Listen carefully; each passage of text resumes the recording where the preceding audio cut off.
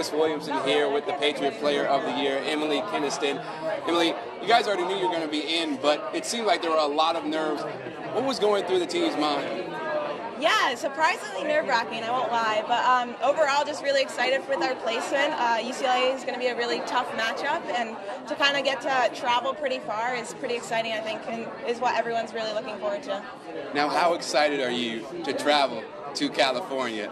I'm so excited. I've never been to the West Coast, so it's going to be a first time for me, and I think a lot of my teammates, and it's just going to be really fun to experience it with them. So you guys going to go to the pool, the beach, or anything like that? I don't know. We'll see. We're probably in the gym most of the time, but uh, hopefully we can kind of explore a little while we're there.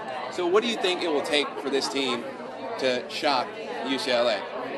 I think just sticking with what we know. Uh, I mean, we've been practicing, it's been a long season, and we've been together for a really long time, so just not going too far outside of ourselves and sticking to our foundations is going to be key. And have you begun to appreciate how special this year has been? Best season in program history. I mean, there's just so many accomplishments that you guys have had. I mean, yeah, it's starting to sit, sink in, um, but still just super happy that I've been able to experience it with these great women and all the AU support over the years has been really incredible and my family for being there. It just couldn't ask for anything else. How does this tournament compare to your freshman year? Um,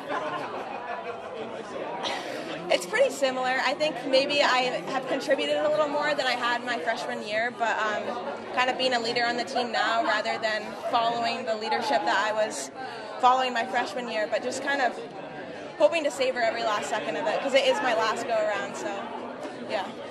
All right, thank you very much, Emily Kinneston, the Patriot Player of the Year.